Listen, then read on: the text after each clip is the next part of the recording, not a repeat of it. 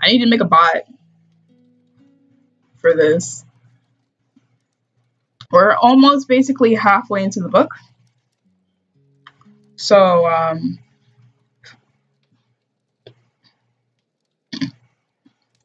if you want, uh, let me see.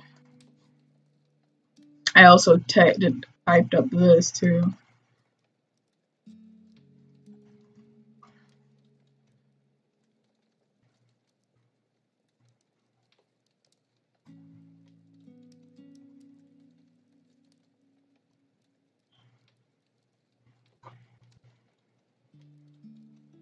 So that's the gist of the story so far, uh, the, of the summary of the what's going on in this world type shit. That's from the book itself, mind you. So if you haven't been here for the previous uh, sessions, this is session five of the same same book. Um, I'd suggest checking out the playlist. Uh, but if you still want to sit and chill with us, that's cool. Um, there will be spoilers, but you know, you'll be fine, right?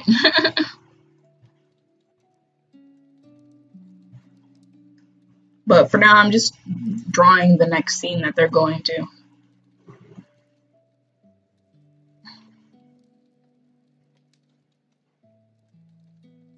I feel like I feel like I'm practically drunk drawing this because this is like everything's like not going the right direction. I feel like I'm fucking drunk drawing this shit.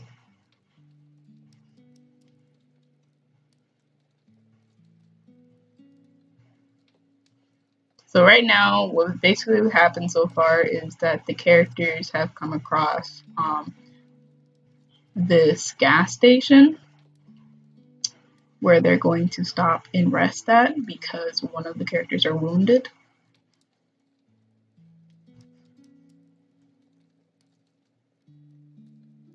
This gas station is somewhat of a co- of a concoction of a gas station, convenience store, and a bait shop.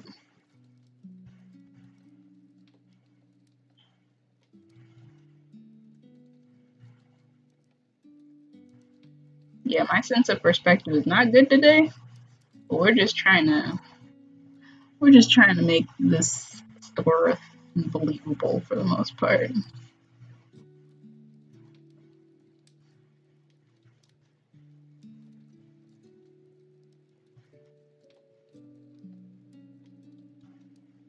I honestly skipped like two weeks of this before. So I decided this week I was going to do it no matter. Um, I, I felt like doing it. It wasn't like I forced myself, but um, yeah. My energy was a little bit more hyped earlier, but it kind of died down after I had to do something real quick.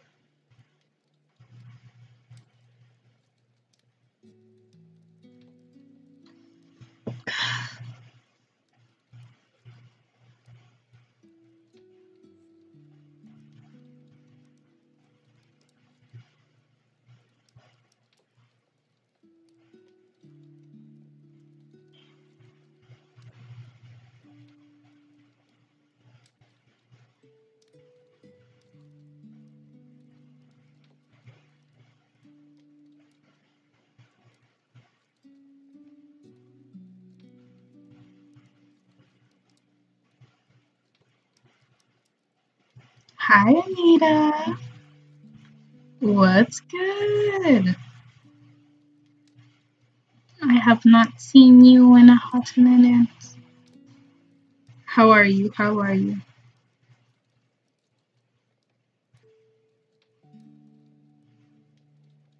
I'm crying. Thank you for the five bitty bits, Anita. Yeah, it's been a while. How are you? I saw that you streamed the other day. I think I had fallen asleep though, so I missed it.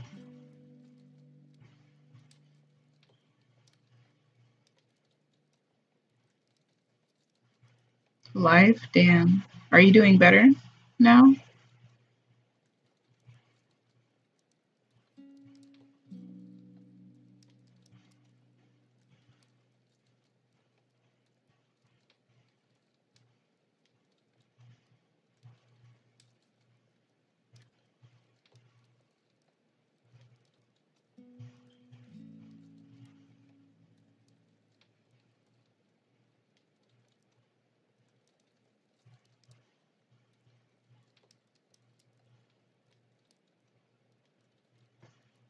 Stable? Hey, it's go. It's okay. I'm going back into streaming. Yeah, I got a stable job now. Oh, okay. Yeah, that's lit. It's great to have you back, Anita. Which ain't the same without you.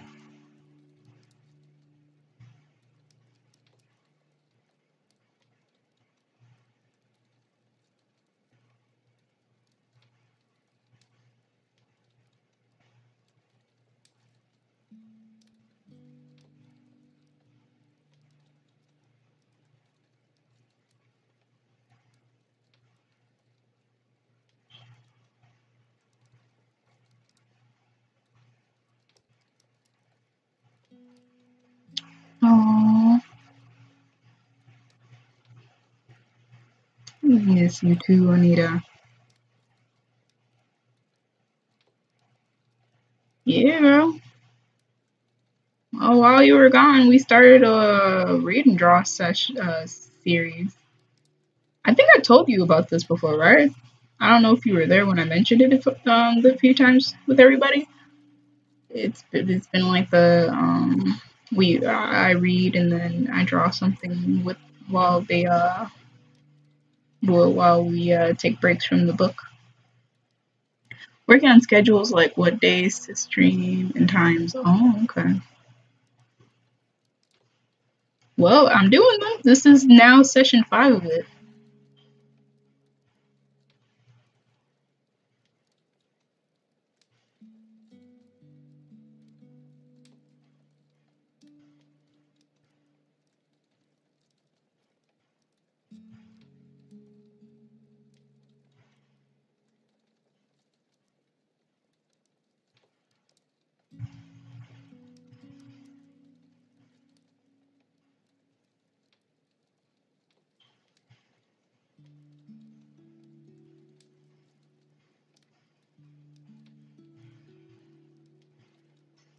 Yeah, we've been reading like the same book so far for these five sessions. We're almost halfway through the book. A lot of things have happened and it's very intense. Then again, that's mainly a lot of the books I usually read intense type shit. If I don't feel like my gut is being ripped out from from my heart, then that's that's not my story.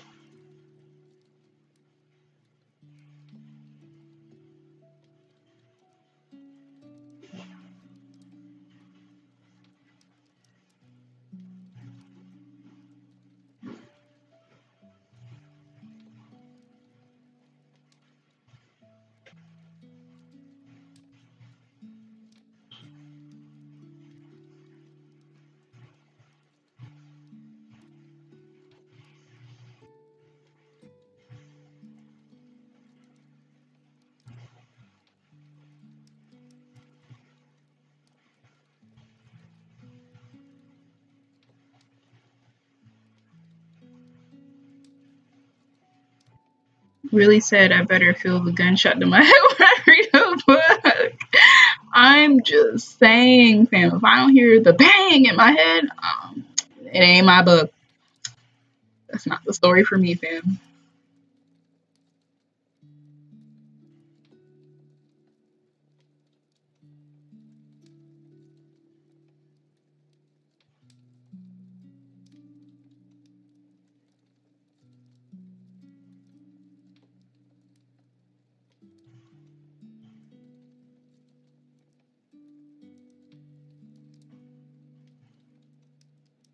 When do you stream those two?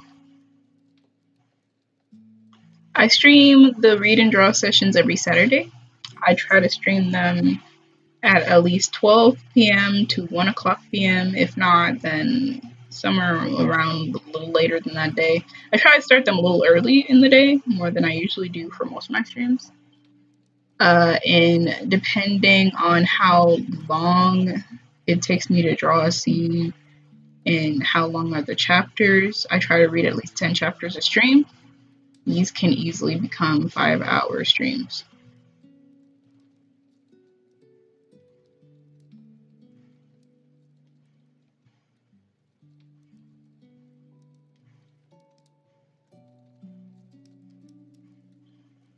Yeah, 10 chapters.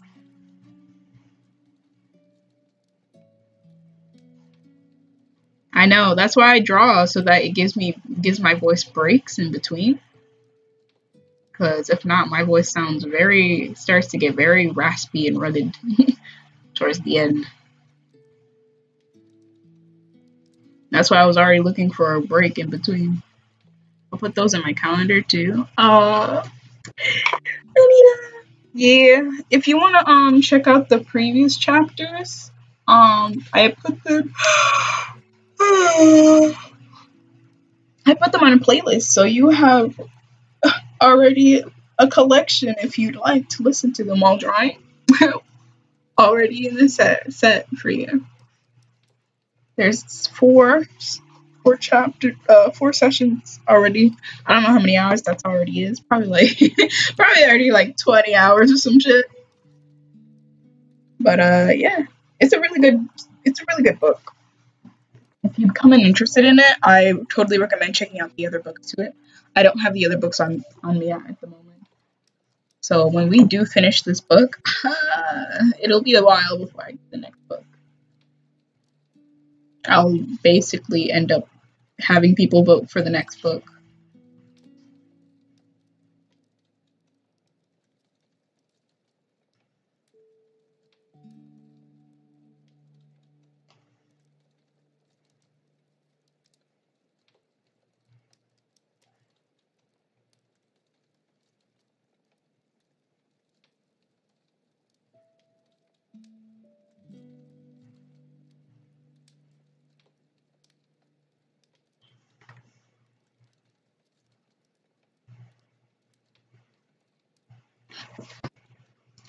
Exciting, yeah.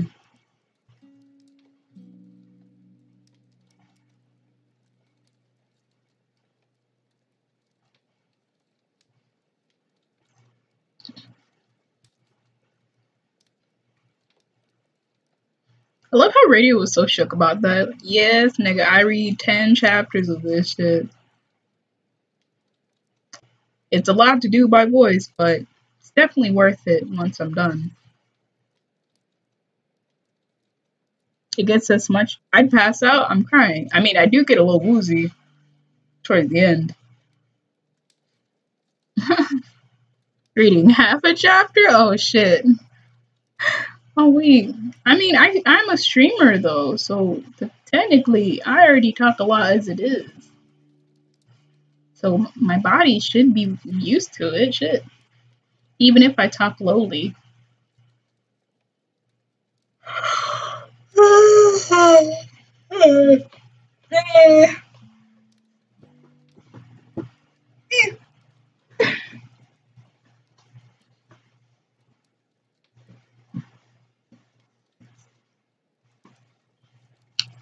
Yo, I feel bad when I have to start reading though, cause um, Francis was here earlier when I stopped stream, and now I'm not sure if he knows that I started streaming again because he was saying he'll he would uh catch it when I streamed again from the break. Uh, I will.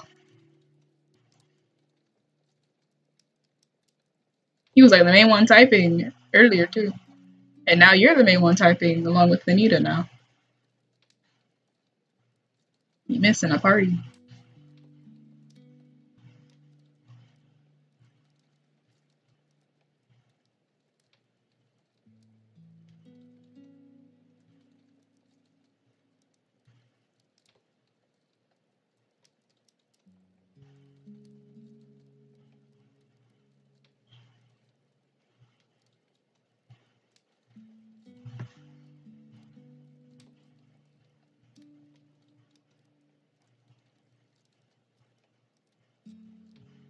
I'm dead out here thinking I heard you say along with Panini. Oh, Panini?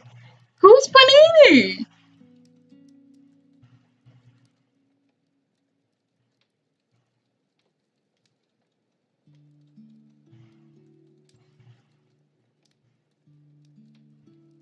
I'm weak.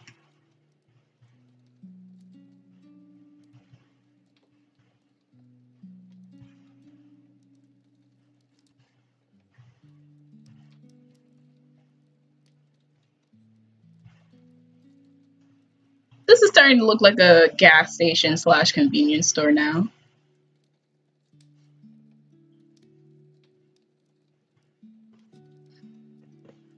On some Lil Nas X chowder shit, I'm weak.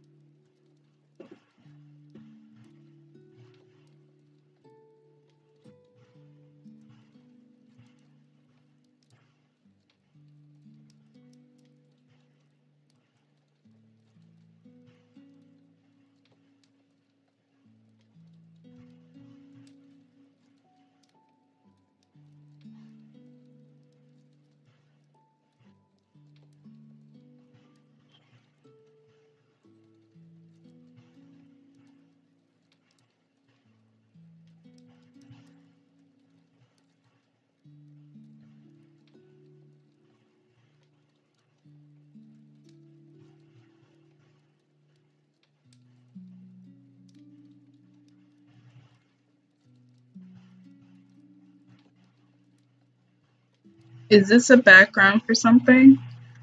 Uh, this actually doesn't have any characters in it because the characters are looking at this scene.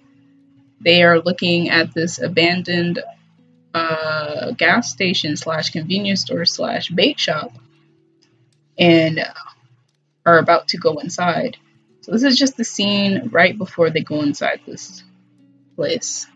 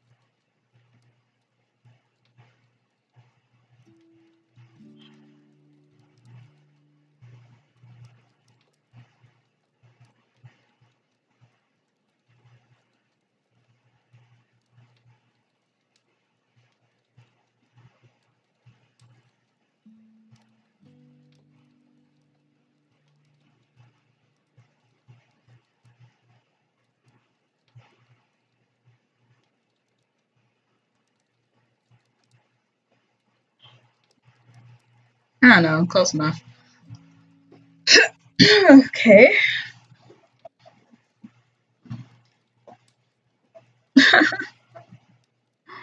Raggedy ass. Raggedy ass. Convenient. Convenient um gas station shit.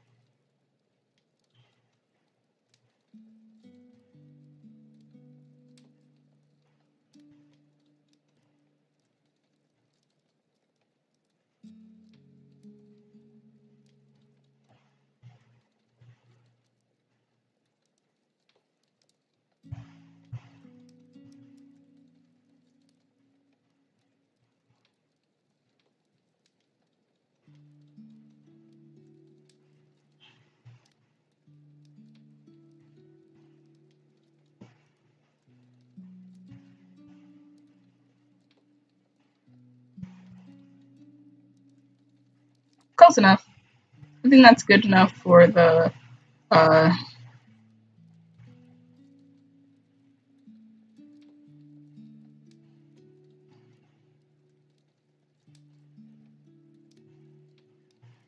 Yeah, just a little fly right there. And there we go.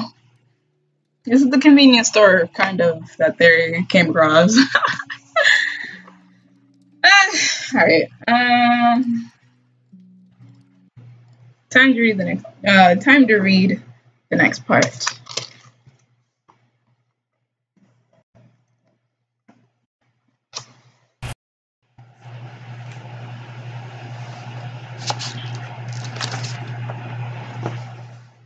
So for those of you just now coming in, what just happened in chapter 34, the first paragraph, first two paragraphs, is that it's been three days after the incident where everything was taken from them, including Ellie and the dog. Tom is wounded, and Alex is taking Tom by foot to the next place that they can rest at, you know? And he is injured in his leg, and the leg has not started healing at all since the past three days, still bleeding and they come across this gas station slash convenience store slash bait shop and they look at it see if it's kind if it seems safe enough to go in and uh, they're about to go inside so that's where we are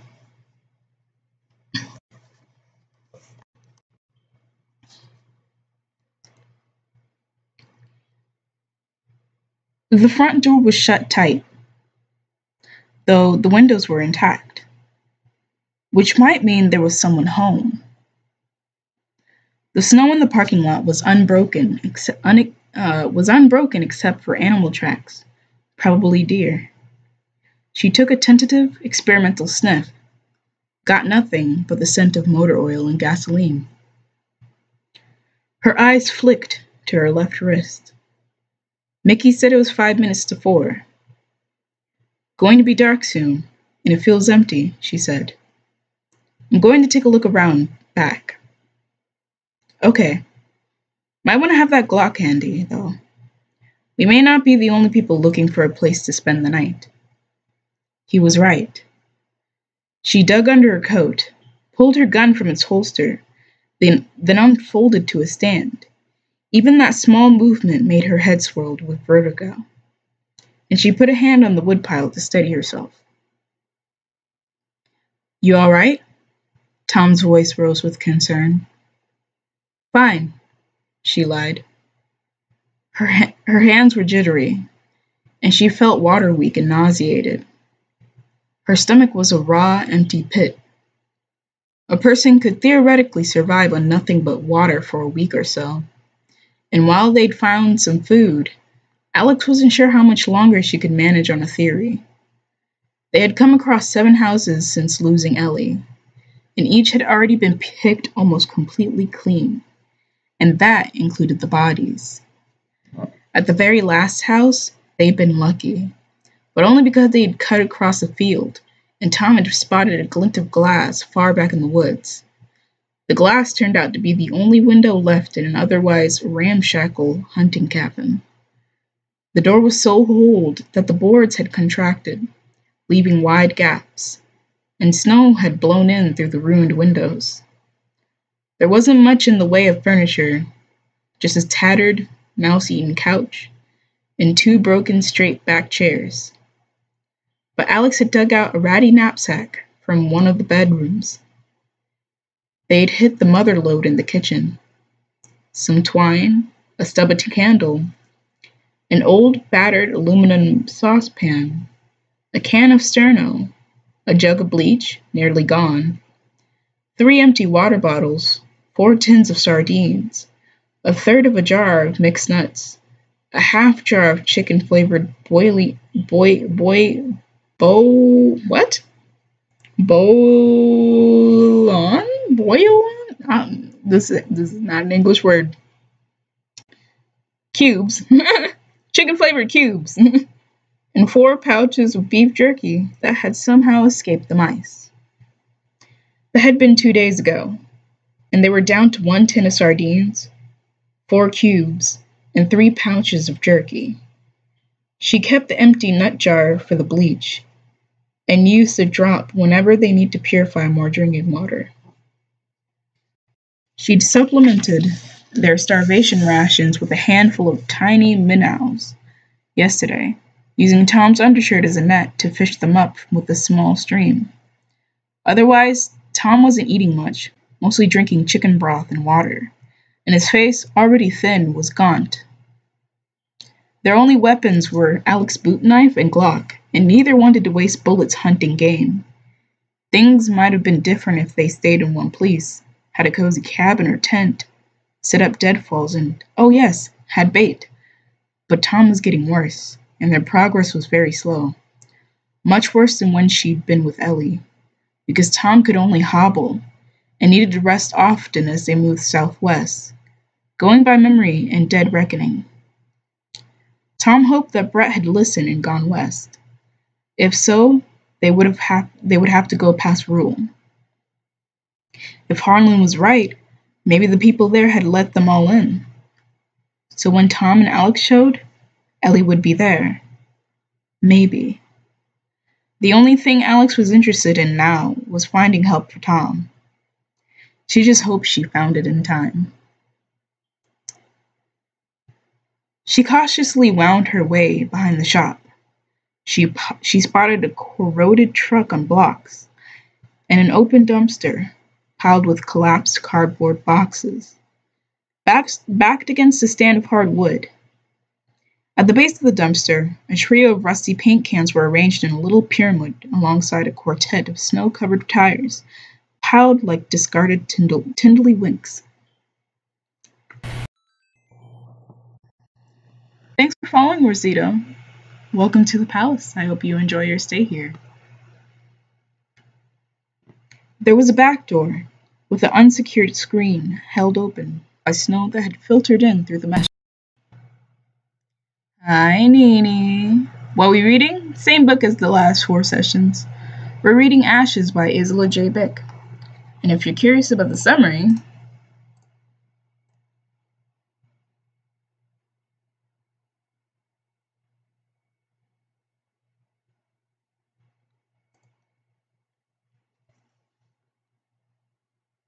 there's a playlist set up. So if you want to check out the last four sessions, those are there. We usually do these every Saturdays. I did skip the last two Saturdays though. So that's why if you were here the previous Saturdays, that's why I didn't do them. I didn't in the last two Saturdays. But the past uh, last month or so, I had been doing these. So yeah.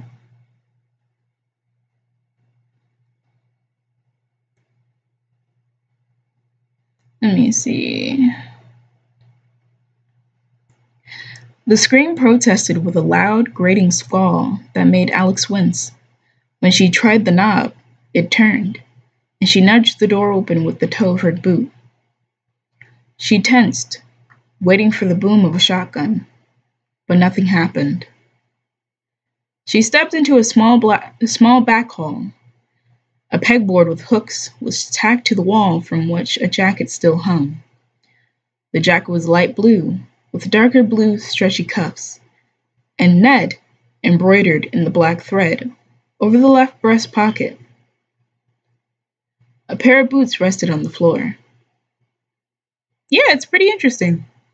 The summary doesn't even tell you half of it, to be honest. Shit gets really crazy in this book. So if you're interested, do check out the other sessions. And if you still want to sit and hang with us, then yeah. then be ready for some spoilers, Nini. Yeah. It sucks. I do try and let y'all know that these things happen, but it's kind of hard to catch everyone and be like, hey, this is happening. So, yeah. Uh, let me see. Another door opened to a short, narrow hall. There was a stinking bathroom to the left. The toilet had been used since the power went out, and it overflowed in a foul, reeking mess. Alex could see, farther on down the hall, the front door in one wing of a Krispy Kreme case. Then the smell more powerful than the shit stink from the toilet hit her. Gassy as a sewer and bad enough to make her stomach crawl into her throat, she knew what she'd find. The store was a mess.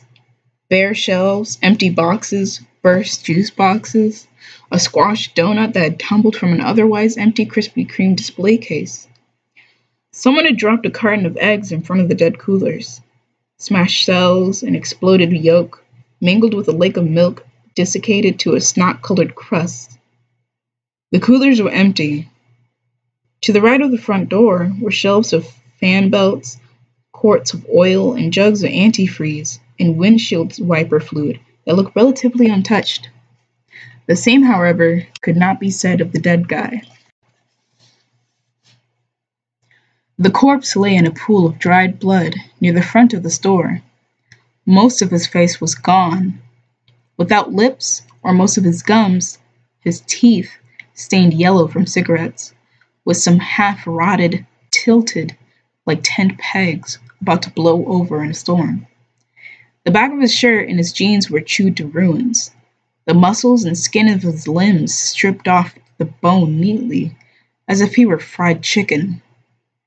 Three weeks ago, a month, six weeks, Alex probably would have thrown up or run screaming, or both. Now, she studied the floor, there had been a few animals wolves, she thought, maybe a couple of dogs, and several people. The floor was a stencil of rusty shoe prints. The prints were all old, that outlines not even tacky. But then, as her eyes swept across the tracks, she paused. Someone had been barefoot. What's good, Cynthia? Welcome to session five of Read and Draw. They read Robinson Crusoe in fourth grade, as she remembered it. When Crusoe finds Friday's footprint, he's terrified, believing, the, believing that the devil might be on the island. But then what surprises Crusoe more oh god, wait, home. Um, Alright. Uh is the discovery that after being alone for so long, the idea of other people scares the hell out of him. Looking down at those footprints, she thought of Crusoe. They had not seen any brain zapped kids, or even signs that they'd been anywhere around the houses or farms. Frankly, she hoped they were all dead. She hoped that with only half a brain, the cannibal kid was too stupid to come in out of the cold. I've got the bread, where's my child? Wait, what? I'm crying, Grizzly, get out! I'm crying. Grizzly, it took you like almost a whole week to come back. oh Lord.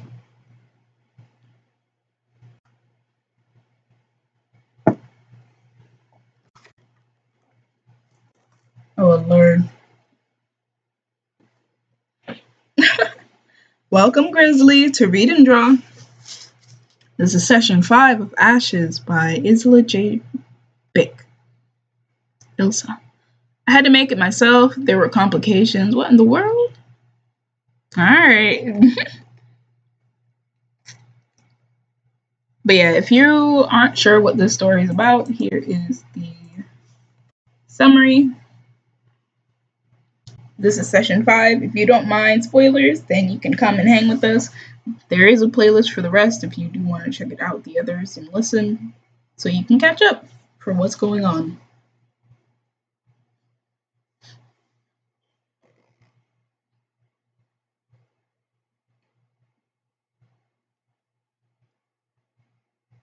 She butted open the front door and then moved the body, dragging the dead man by his feet hoping they wouldn't come off.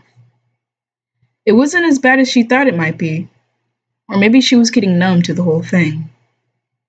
Anyway, it had to be done, because there was no way she was spending the night under the same roof as a corpse. After the relative respite offered by the store, the cold was a shock.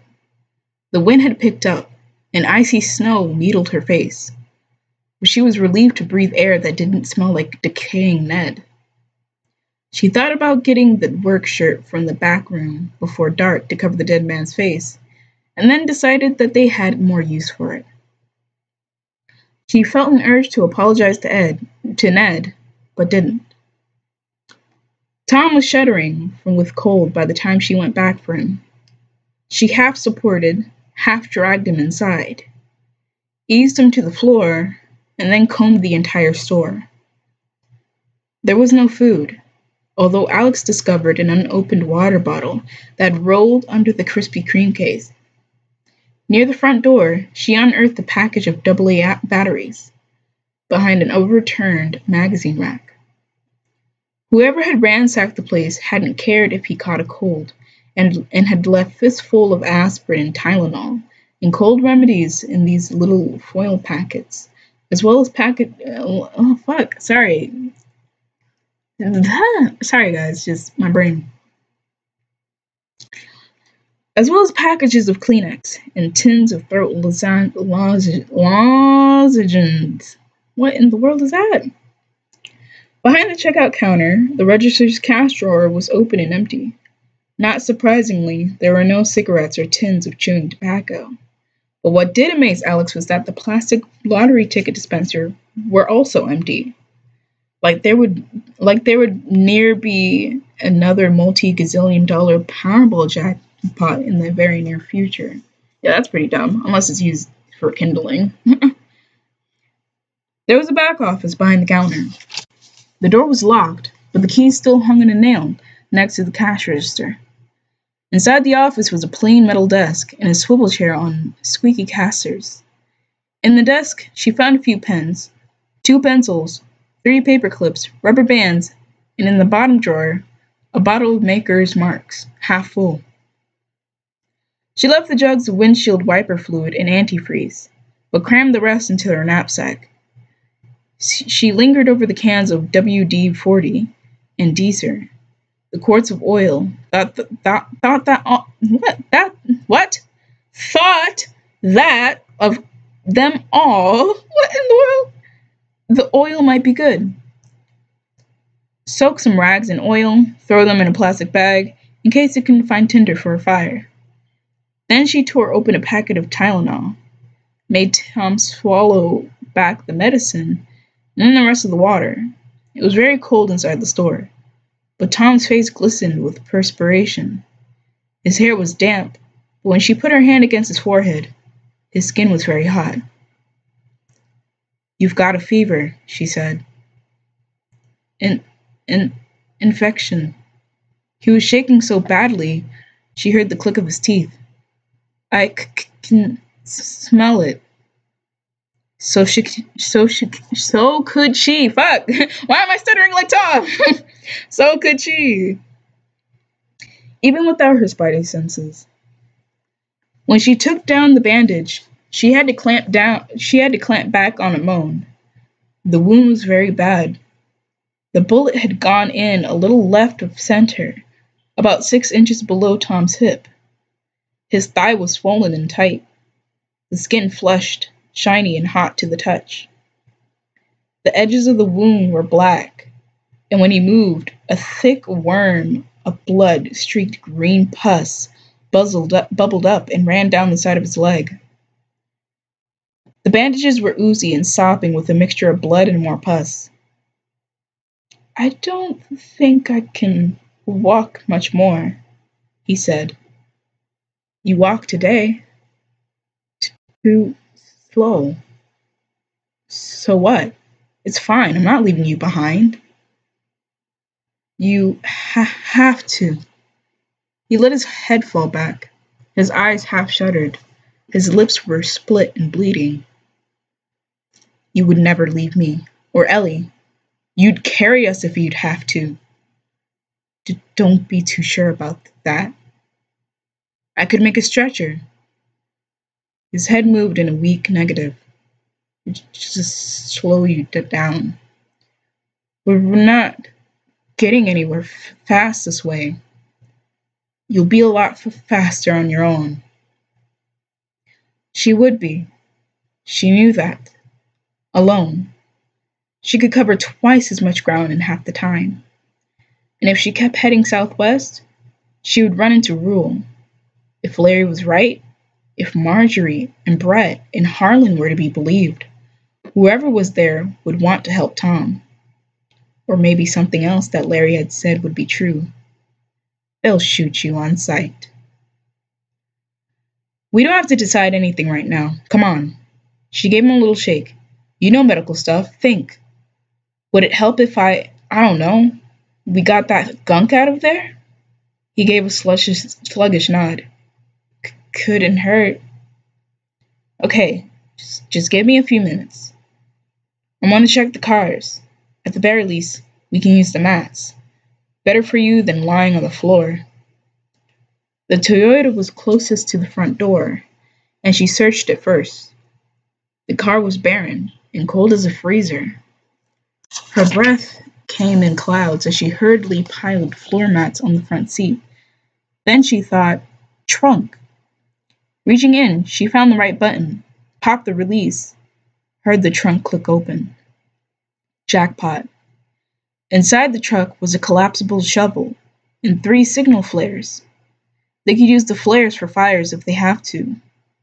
Was there a way to reuse the striker? Tom might know. The shovel was for camping, with a triangular steel head and a removable ha- handle that unscrewed to reveal a six inch blade saw. She pulled the shovel out to its full length, felt the heft in her hand. From the condition of the head, she didn't think the shovel had ever been used. Backing out with the truck mat, her eyes fell on a corner of white and red protruding from beneath the spare tire. Putting aside the mat, she reached for the bit of color. Was that? She felt a little squirt of adrenaline, which she which she tried to which she tried to quash. But she knew as soon as her shaking fingers touched the cardboard, and then she was carefully prying the Mar- Marlboro box free. Interesting place to keep a stash, but she heard of people squirreling away drugs and spare tires. So it maybe not so strange if you didn't want your wife or husband to know you couldn't quite kick the habit. The Marl Bar I don't know how to say this word. Marl Marl Marl Marl Marl Carl. the Mar Mar Mar we're gonna call it the Burrow. The Burrow box, because I don't know how to say this word. It's a brand. I don't care for it. I don't know how to say it. I, am sorry. The Burrow box rattled and smelled like cold tar. She didn't care about the cigarettes, but if someone had stashed the pack into the trunk for a rainy day, he'd need a light. She was almost afraid to look, but she did. Inside the box were three cigarettes. She let her breath go. A matchbook. The book had once been white, but was now gray. She could still make out the words beneath a stylized martini glass. Eddie Martinis.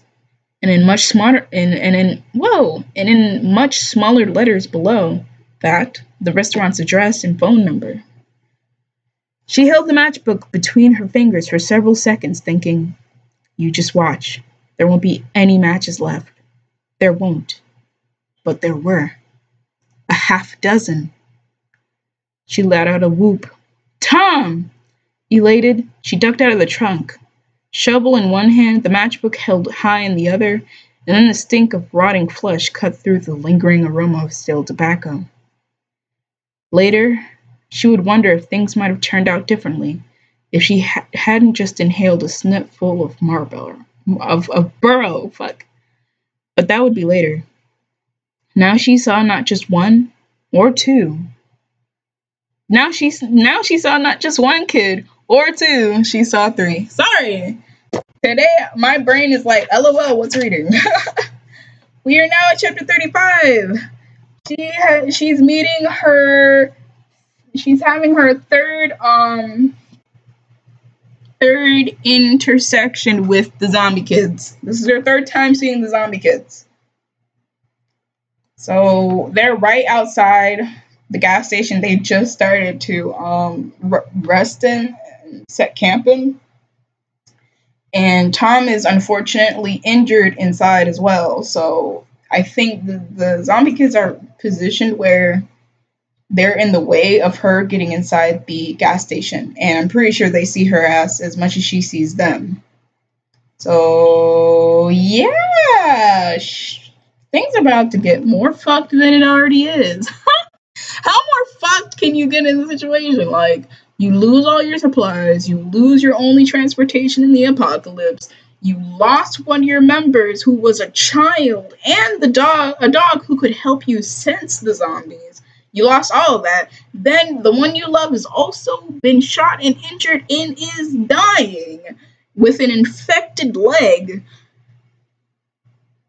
And right when things were starting to look up, there's some zombie kids chilling, looking at you, waiting for you. And it's like, oh no, oh no, what a day.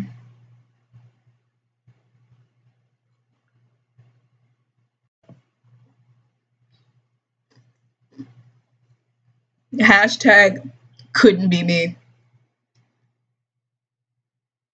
Could not be me.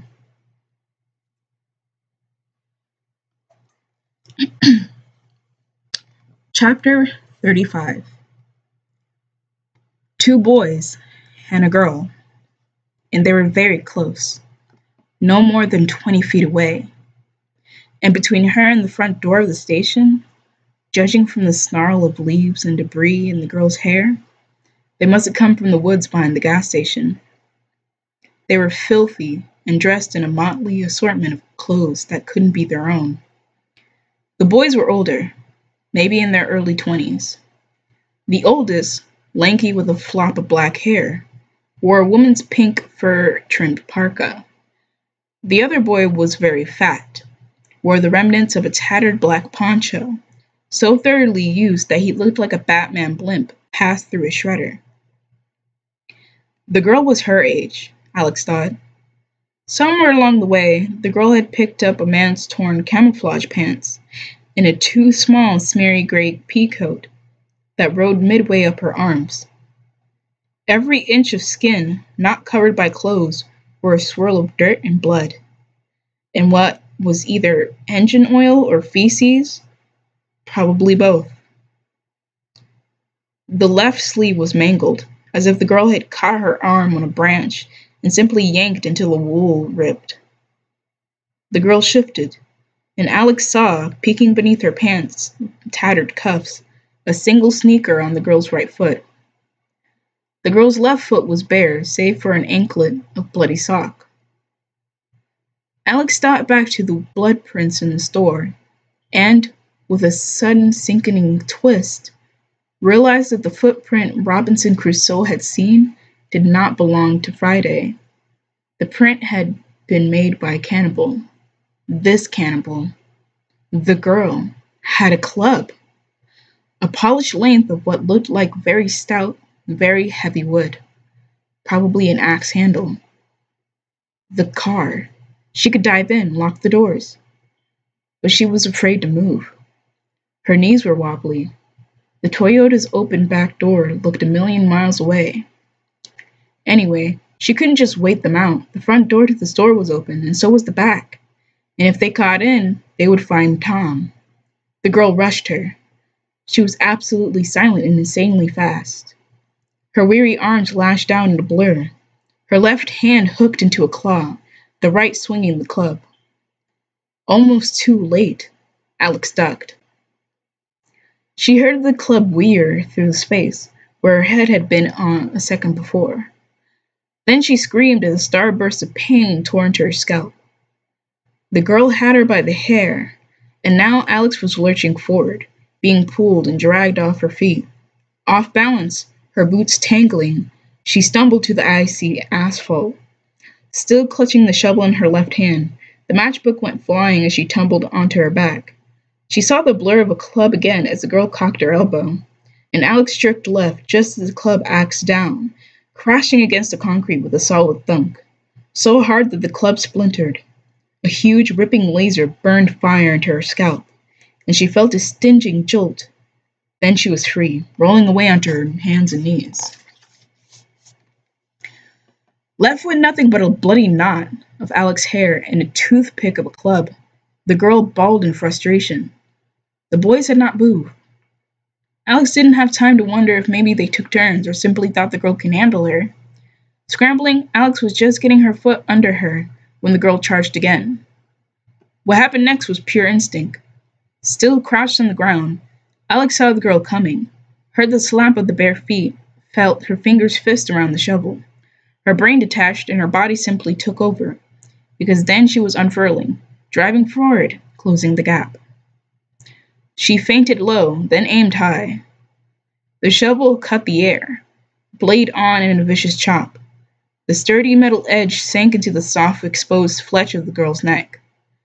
There was a great jet of spurting blood burning into the snow like red sprinkles on white icing. And then the girl was falling away, the momentum wrenching the shovel out of Alex's grasp. The girl sprawled, hands wrapped around her throat, gargling as blood pumped between her fingers. The shovel clattered to the ground. Her own momentum spun Alex almost completely around. Disoriented, she looked up, realized she was staring at the stalled caravan half in, half out of the gas station's driveway, and thought, oh god, they're behind. She caught a papery flutter, the thud of boots against thick snow, and as she turned, a black rippling blur swooped in from her right. The gun, she thought suddenly. In her terror, she'd forgotten all about it. She fumbled the coat open, wrapped her hand, wrapped her fingers around the grip. The gun, the gun, the gun, the gun. Blimp Boy plowed into her. The Glock went flying. She saw it cartwheeling through the air, heard the thunk as it hit the Toyota, Toyota, and then she was on the ground again. The boy using his weight to pin her down. The tattered plastic of the boy's poncho dragged at her arms like tentacles and she thrashed, trying to bat her away, trying to bat her way free. Gasping, she looked up to see the kid's lips twitching back from teeth that were stained and slimy with gore. No! she screamed as the boy's teeth flashed. Tom slammed into the boy. The blow knocked Blimp Boy onto his back, and then he and Tom were rolling, thrashing, grunting. The pudgy boy was snapping at Tom's face, his teeth clashing together. Tom ran the heel of, of one hand into the boy's lower jaw. The pudgy boy let out a gurgling howl as his teeth drove into soft flesh of his, of his tongue. Rearing up, mouth drooling blood, the boy let loose with a vicious backhand to Tom's jaw. A solid crack, loud as a gunshot. Tom's hold slackened for just an instant. Instant, and then there was a flash of bloody teeth as the pudgy boy's jaws battened down on Tom's neck, just above his right shoulder. Tom screamed. No, no, no, no! Frantic, Alex clawed her way to her knees. Tom and Blimp Boy was still struggling, but even if Tom hadn't been sick and weak, the boy was much heavier and he was astride Tom. Tom's shirt was saturated with blood. Blimp Boy brought his cocked fist down. There was a sound like eggshells being crushed by a heavy boot as the blow connected with Tom's nose, and then Tom went limp. Screaming, not even aware that she was moving, Alex grabbed up the fallen shovel, wound up, and then swung it with all her might. The shovel hit with a solid thunk. She felt the jump and sting of metal against her hand and the force of the impact shiver up her arms. Howling, Blimp Boy went sprawling, but he was still conscious, already rolling onto his hands and knees. That's when she spied the butt of the Glock sticking out from behind the rear tire of the Toyota. Out of the corner of her eye, she saw Blimp Boy on all fours, shaking his head like a dog, and she whirled, and she whirled, grabbing for the gun. The third boy, whom she'd forgotten about, rammed her at a dead run. Yeah,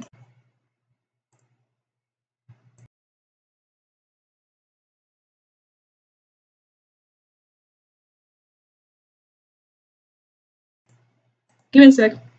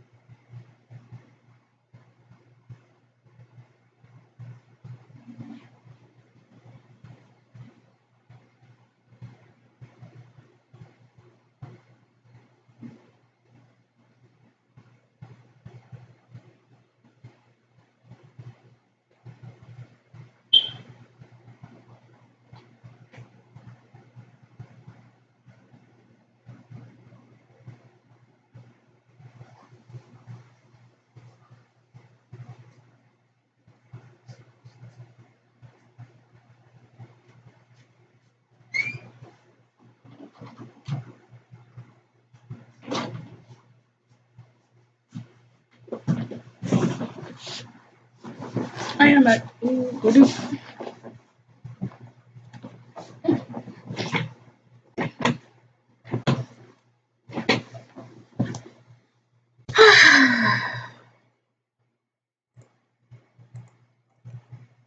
to be honest, I probably should have drawn the kids. I just didn't feel like it.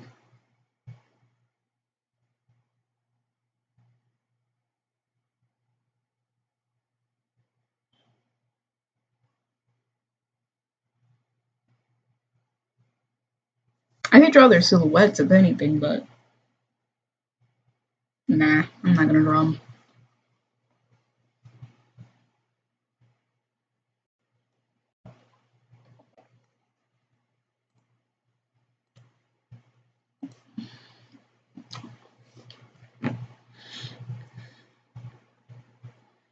The third boy, whom she had forgotten about, rammed her at a dead run. The blow drove Alex back against the unyielding metal of the Toyota. Alex felt a lightning surge of pain as the car's rear fender jammed her spine. Gagging, Alex sagged, and then she was on her back. the boy slashing with a claw fist. Alex's face fired white hot as the boy's nails scored her flesh, from the corner of her left eye to the angle of her jaw. Alex tried twisting away, but the boy brought his balled fist against balled fist down like a hammer, catching her just above her ear. Her head banged the asphalt, and then a burst of wet copper filled her mouth. And then she lost the shovel. Dimly, her head singing with pain, Alex heard the boy screech again, felt his hands closing around her throat, and then her air was gone. Her fingers scrambled over his, but he had her tight, and he was shaking her now, pounding her head against the snowy asphalt. The edges of her vision went red, and then black, and then the margins began to contract, growing smaller and tighter. Her lungs screamed, and her pulse thundered in her oxygen starved brain. She fought, but his grip tightened. His thumbs crushed her throat, and the pain was huge not just a burn, but a sensation of something breaking in two like a dry twig. Her arms and legs were no longer listening to her, and her hands began to loosen as her hold on consciousness started to slip sideways to slip slide away. She was going numb, the strength flowing from her like blood, and the pain too.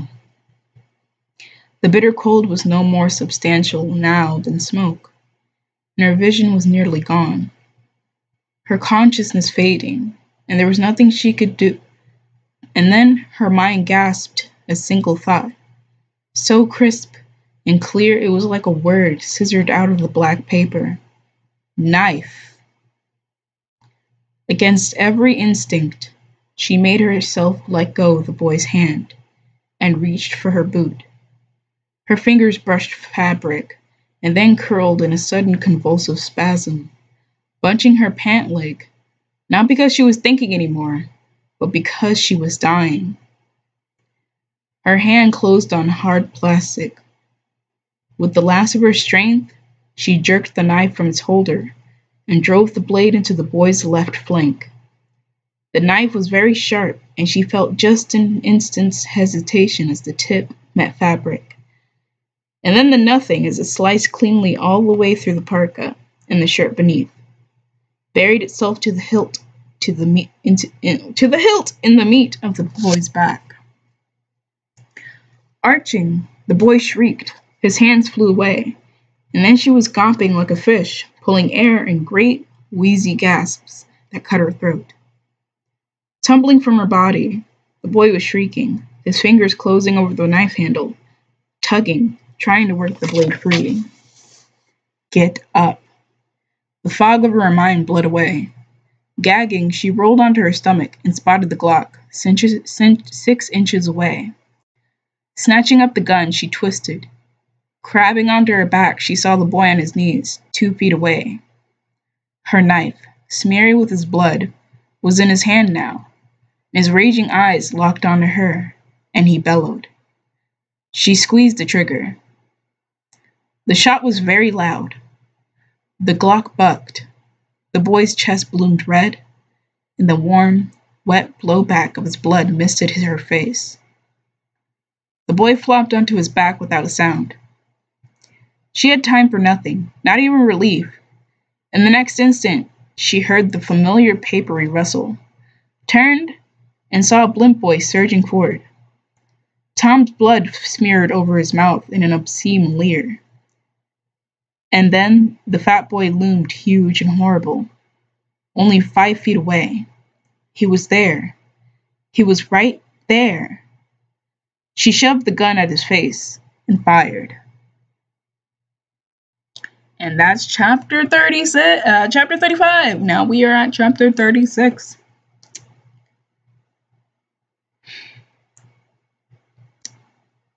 so yeah tom got fucked up some more.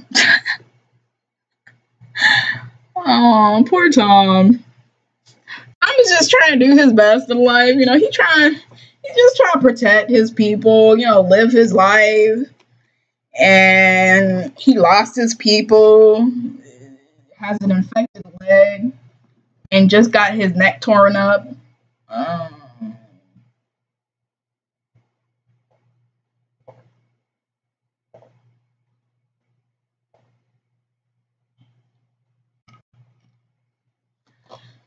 hashtag poor Tom.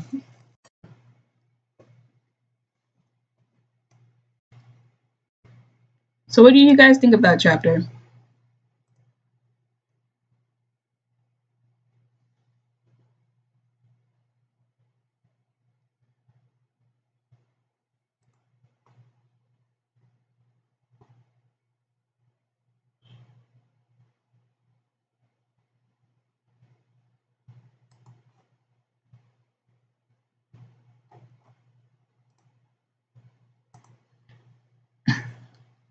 Alright. Now we're going to do chapter 36. Wait, what chapter did I start on? Because I need to know, because i just been reading. Okay, I, I started chapter 32, so uh, 32, 33, 34, 35, 36, 37, 38, 39, 40, 41. So I'm supposed to stop at 41. I need to write that down somewhere. Oh.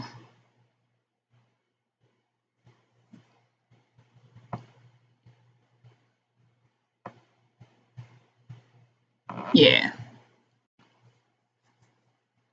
So, anyway,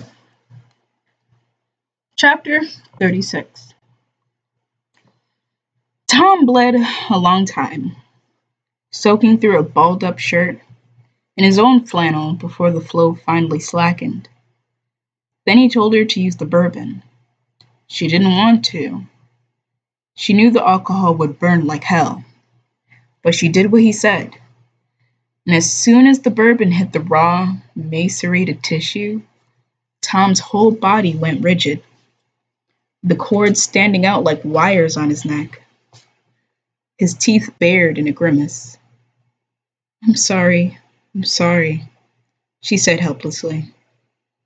The last thing she wanted to hurt him even more. The last thing she wanted was to hurt him even more. Already dark amber, the bourbon turned a muddy brownish purple as it mingled with Tom's blood. She used a scrape of torn shirt to wipe away the sweat from his face. It's okay, he said, his voice rusty with pain. There was a crust of blood underneath his shattered nose, and his eyes were beginning to puff. You're doing fine, I don't know what I'm doing, she said. She felt sick, not with fear now or hunger, but dread. The wound was very deep, enough to expose tendon and muscle, and a glimmer of bone. The blood welling up wasn't pumping, and she dared to hope that he wouldn't bleed much more. But she knew she could never move him now. Tom was too weak too drained. He already had one infection, and she was pretty sure that human bites were as bad as animals, maybe worse. What about your leg? Should I wash? Cut it. She froze, unable, unwilling to believe her ears. What? Cut it, Tom whispered in that same pain roughened voice too much pus has to drain. I can't, she said, horrified. Tom, I can't, please. Alex, I can't, can't do it myself. He paused, his chest heaving, his face oily with sweat. When he spoke again, his words broke with airy gasps. The knife. Use a flare. Sterilize. But I'll burn you. Tom actually laughed. A faint splutter that quickly died. Least of my problems. Skin's dead anyway. But the the tissue underneath. might be okay. But you have have to drain Alex. Alex, do it, please. His glittery, fever bright eyes locked her locked on hers, and she read his desperation and fear. Before I lo- lose my nerve. That was like his story about Crow. For Tom Daxter to do something like this, he must know he didn't have many options left, or much time. But what if he was wrong? What if she did more harm than good? Outside, she retrieved her boot knife, prizing it from the dead boy's clutching fingers. Plunging the knife into deep snow got rid of most of the gore. Then she used bourbon and water to wash away the rest. At the convenience store's front door, she twisted off the cap of one of the flares and scraped the tip against the striker. The flare caught, the crimson flame spitting fiercely. The knife's handle was a hard black polymer, so she was able to hold it without burning herself as she heated the blade. Watching as the color changed from silver to a dull gold to a bright lava red. Tom, she said, kneeling over him. The knife had cooled to a dull orange, but she could feel the heat radiating in waves and knew the steel was still plenty hot. You're absolutely sure there isn't another way? C- cut it. Fast as you can. I'll try n- not to move. Once you're through skin, you'll have to have to cut deeper. Heat will help with the bleeding. When the pus starts coming, stop. You'll know when. He panted, turning his face away. He pulled in another gasping sob. His eyes screwed shut and his hands balled to fists. But a deep shudder was running through him now, a trembling he couldn't control. I'll try to stay on, on, on top of it. But no matter what I say, don't stop, Alex. Finish the job. Oh, please. God, she thought, staring down at Tom's thigh and the blackened, angry eye of his wound. Please save him. Please help me. She'd seen movies, scenes where men dug around for bullets with bare hands in movies. People passed out when the pain was too much. But this wasn't a movie or a book. This was, in fact, much, much worse because Tom did not pass out. And he lasted only three seconds before he began to scream. That's the best I can do. She thumbed his tears away. His pain ravaged face was dead white, his eyes sunken into purple black hollows. The fleshy lips of his wound gaped, and his thigh was streaked with thin rivulets of bright red blood. But there seems to be very little pus left. The air reeked with the stink of dead meat, boiled pus, and cooked blood. The mats under his leg had gone soupy with the muck, and she dragged them out, pitching them into the snow before retrieving the floor mats from the abandoned van. She'd used straight bourbon with, on the raw flesh of his thigh, but now she used a wad of torn shirt and stuffed with snow to mop sweat from his forehead. You smell like a bar. Yeah. His weary gaze fixed on her neck. A lot of bruises. Her throat still felt broken. See the other guy. Not not a joke. That was too too close. Can't lose you. I'm not going anywhere, she said, knowing deep down that she would be forced to. She sponged away dried blood from his chest. His torso was st- stippled with other older wounds, shiny with scar tissue. Sh- shrapnel, he whispered, feeling the question in her fingers. Got myself fragged six months ago. You ought to see me light up metal detectors at an air- airport. And this? She touched what looked like small burn marks just under his armpit. Then she peered closer and made out letters Eden, Thomas A. A series of numbers. Social Security number, Alex thought.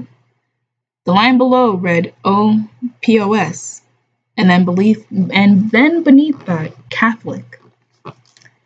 A tattoo? she said. Yeah. We call them meat tags. Sometimes there's not a lot left after he swallowed. You know.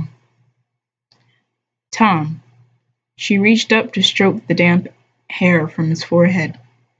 His lips were pale, as transparent as glass. What are we going to do? Stick to, to the plan. He tried a smile that quickly faded. We we leave in the m- morning. All I need is a little rest. He needed a lot more, and she knew it. She spent the night on a mound of car mats in the convenience store's back room. Few hours before dawn, Tom either passed out or fell asleep. She couldn't tell which. Stretching out along his left side, she hugged his body to hers, so close she heard his heart. She was exhausted, but afraid to sleep. Ooh, excuse me. Worried that he would be dead when she woke up. But eventually, her thoughts thinned, and she spiraled down and the dream again. The one where she saw the chopper, the one carrying her mother and father, take off in that snowstorm.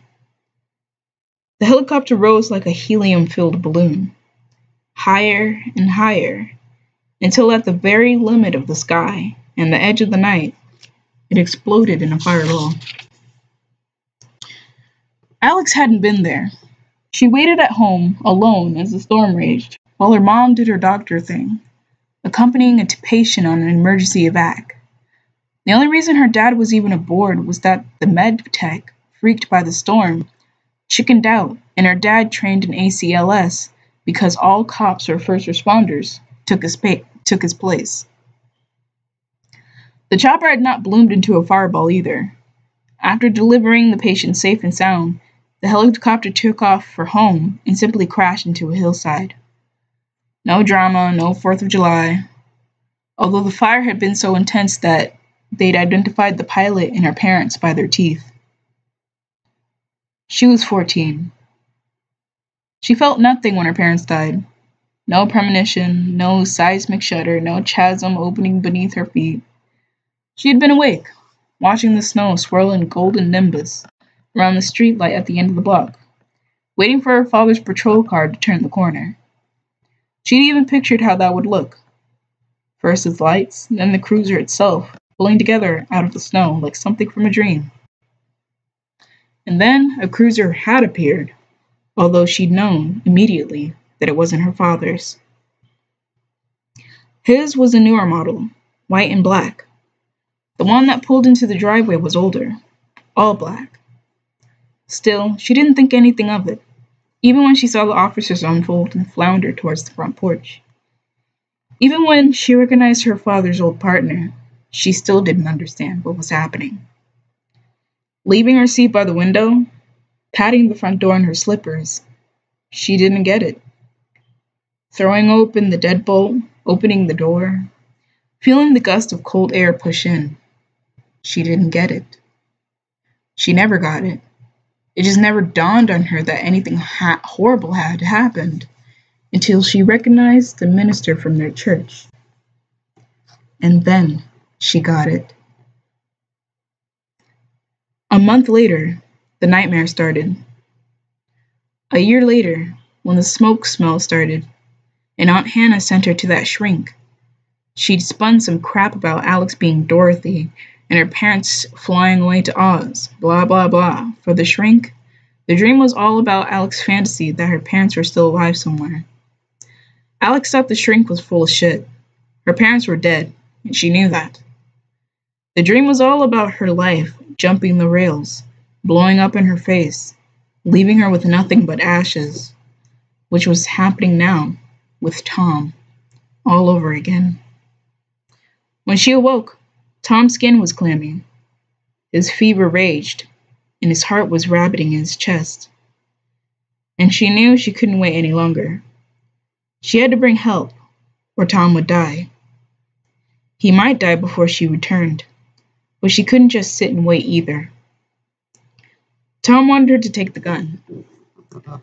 You might need it. His skin was whiter than salt, so translucent she saw the faint blue worm of tiny veins under his eyes. At least the shakes had vanished, if only temporarily. I'm not going anywhere. That's not what I'm worried about. If anyone gets in here, the gun's all you have. If someone breaks in, if it's a couple of those things, a few bullets won't make any difference. Besides, I don't think they're smart enough to do that. They're too one dimensional.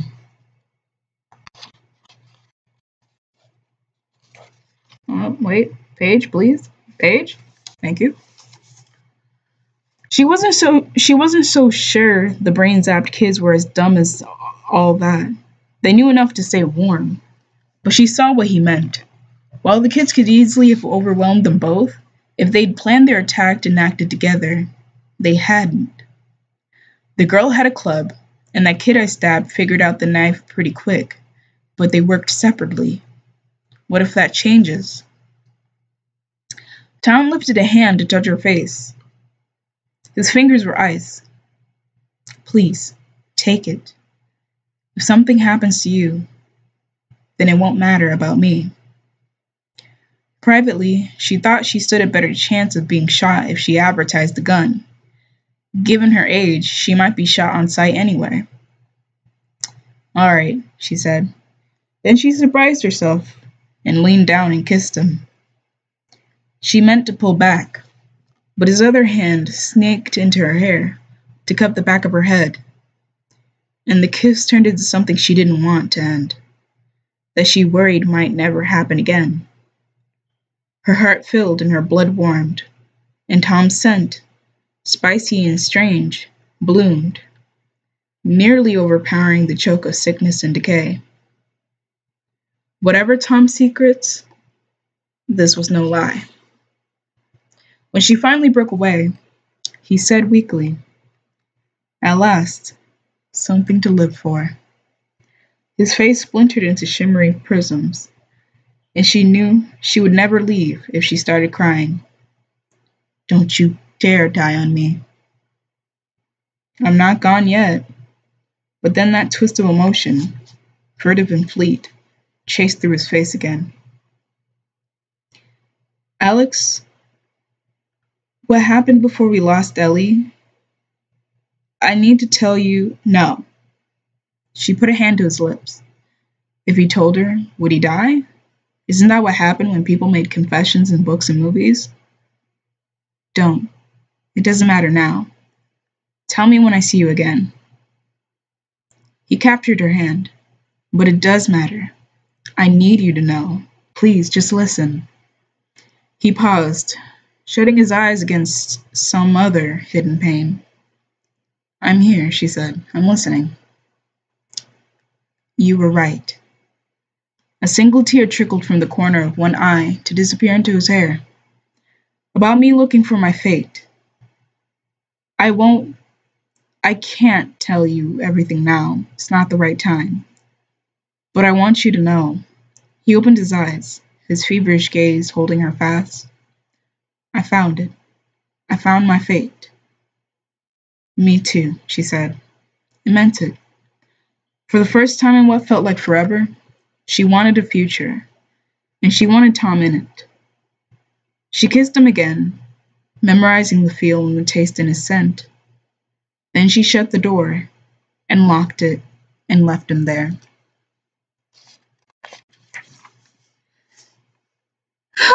goodbye, Tom. Goodbye.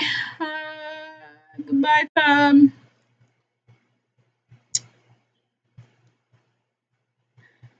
I don't know if Tom gonna be alright.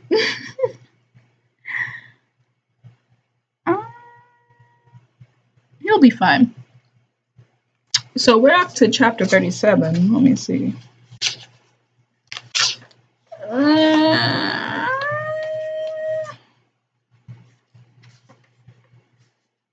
I'm gonna read chapter 37 and then we'll end it for now. Five chapters because uh, I'm a little out of wonk, to be honest. And I don't really know what to do for that. Excuse me. Um, I really should have drawn the kids to give myself a break, to be honest, but I just didn't want to.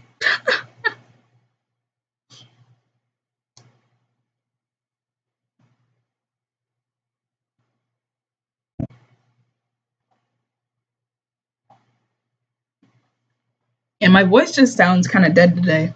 So I'm gonna end it pretty short today. I have five chapters. And I guess I'll just do a different stream a little bit later of just working on designs, uh, emotes. I'm gonna finish the emotes. And yeah. That is what we shall do.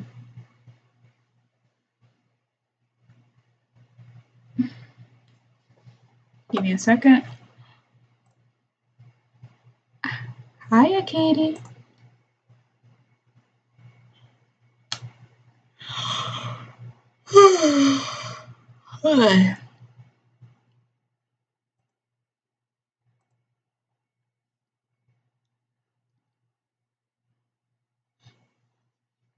Chapter 37 She wasn't an idiot. If she kept to main roads, kept moving west and south, she would run into people way before she got to Rule. This might be good and bad. Bad because the survivors were more likely to shoot first and ask questions later. But maybe good because all the brain zapped kids she's seen hung close to the woods. If she paid attention, Maybe she'd smelled them coming, too. She slogged steadily southwest, through a good two feet of snow, keeping to the road. Her eyes always scanning, searching for movement, for brain zapped kids, for grandmothers with rifles who thought she might be a meal ticket. There were billboards, too, advertising gas stations, and mine tours and gift shops. She spotted a sign for Northern Light, God's Light in Dark Times. And a few others suggested that people stop in at Martha's Diner, breakfast 24 7. The day was fine, sunny and very bright, and not as cold. If the way had been level and the road clear, cross country skis or snowshoes would have been nice. Sunglasses, too. As welcome as the sun was, her eyes streamed against the wink and dazzle of the glare bouncing off snow. The road was clogged with cars and vans and trucks hunkering beneath a mantle of snow. Most were wrecks, with smashed windows or doors that yawned like mouths. She kept her eyes peeled for their trunk, half hoping she wouldn't find it because she was afraid to know what that really meant. Clouds of birds circled in the sky, while crows lined the trees and perched on icy wires, and studied her passage in absolute silence. She felt as if she stumbled into a movie set, the kind where the camera pans back to reveal destruction and devastation, all the way to the horizon with no end in sight. And then her, the only thing moving other than the birds. Away from the woods, the air was sullen with smells engine oil, gasoline, rubber, and death. The stink was so thick and cloying that she gagged, and she wished she had something to tie around her mouth and nose. There were a lot of bodies, all in various stages of decomposing. Many had died in their cars. Others, men and women who had stumbled from their cars only to collapse on the road that first day, wore shrouds of snow. Even with the cold to slow down the rot, the corpses were hideous, as bloated as those dead cows she and Tom and Ellie had seen. There were many animals, too fat raccoons with paws full of meat, mangy foxes and opossums, their white snouts clogged with gore, braving the daylight for the feast. And of course, there were always the birds, jabbing and pecking and stripping away frozen niblets of flesh right down to the bone. One pair of very large crows squabbled over something in the snow. At her approach, they fluttered off, and she spotted what she thought was a fat drop of blood, only to realize that she was staring down at a woman's dis- disart- disarticulated big toe. The nail still painted a bright cherry fire engine red. All the dead were adults. Most looked old enough to be parents, but not grandparents. There were empty car seats and discarded lunch pails and book bags, but no kids. No bodies of anyone close to her age or Tom's. Then she saw something that made her blood ice. The further down the road she went, the more prints she found from the people who'd survived boots, sneakers, everyday shoes, even some flip flops, and footprints. Not socks, bare feet. That gave her a pause. Deer laid down, deer laid down trails, taking the same path to and from streams and meadows. Ducks and geese flew routes they'd taken before. All a hunter had to do was either hunker down and wait or follow his prey. People took roads. Honestly, they might as well have been wearing cowbells because it looked to her like those brain zap kids weren't simply sticking to the woods now. They might live there but they'd figure out that they, if they wanted to eat, they had to go where the food was. Then she noticed something else. Then she noticed something else. Some of the dead people were very old. They had died because they'd been shot in the back, some in the chest, and many the back of the head. Their clothing had not been tattered or ripped by animals, but it seemed simply taken. These bodies were fresher, too, and lay in bunches in a scatter of discarded empty knapsacks and duffel bags and suitcases. These people had survived only to be robbed and then killed by their own kind the Harlands, the Bretts, the Marjories. And that's when she finally understood that Larry had been right. Had been right. Oh, Jesus. Please leave me. Oh, God, hold on. Be right back.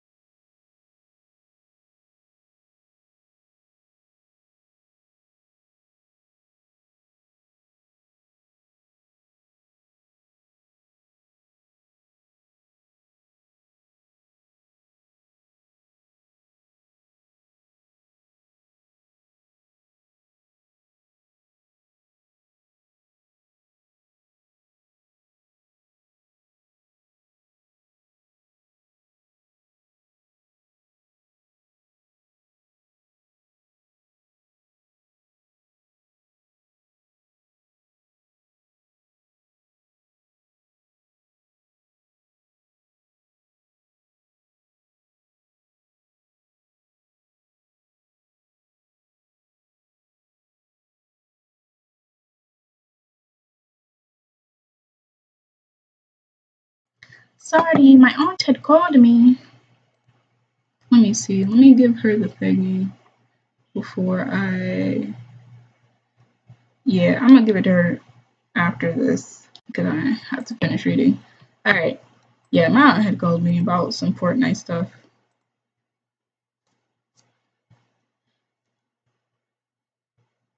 Uh.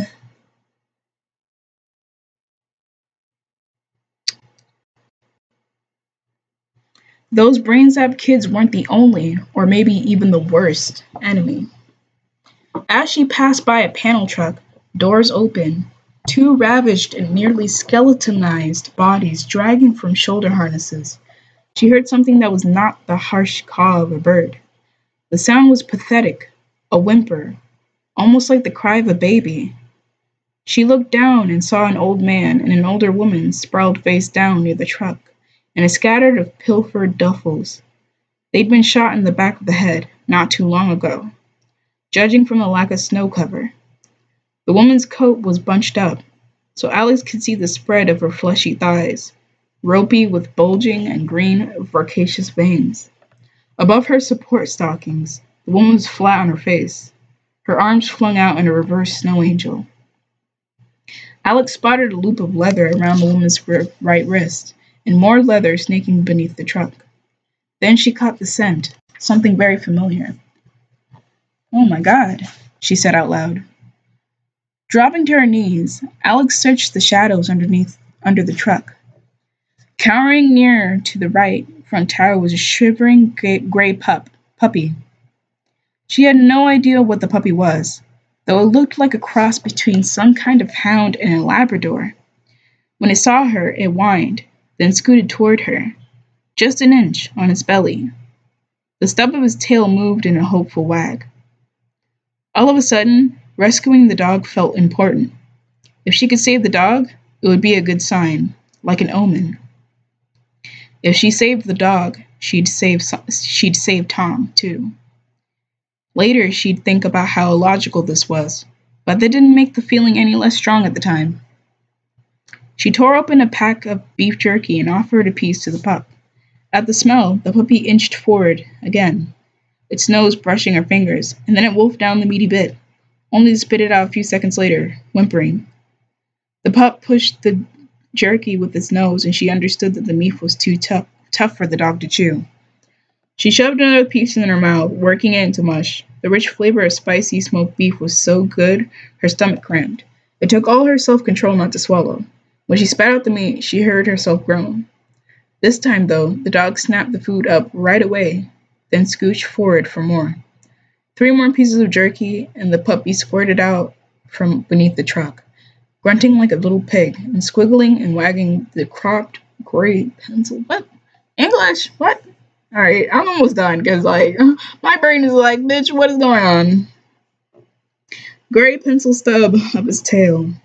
Unclipping the leash from its collar, she gathered the dog in her arms. So what's your name? The puppy let go of a little yap.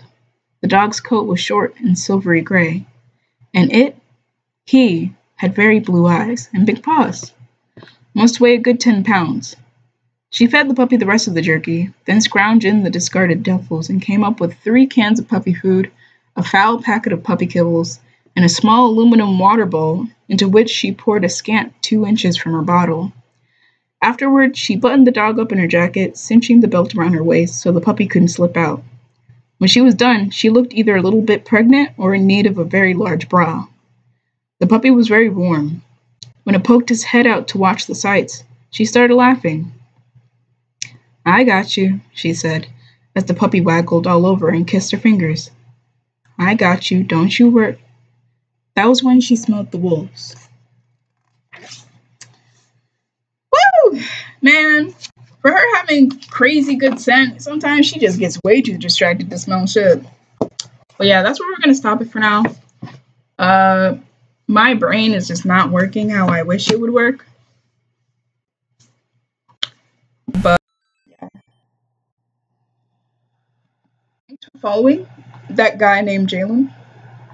Welcome to the palace. I hope you enjoy your stay here. I'm going to end this stream right now, but I'm going to reopen it again in a minute so we can start. I just need to change the title and everything because I don't want this part to be connected to this because this goes into a playlist for people to listen to. So yeah, uh, I will be right back. I'm just gonna change up the title and stuff, and we're gonna get started on some artwork. Yeah. So I'm gonna stop this, and I'll be right back. Hold on.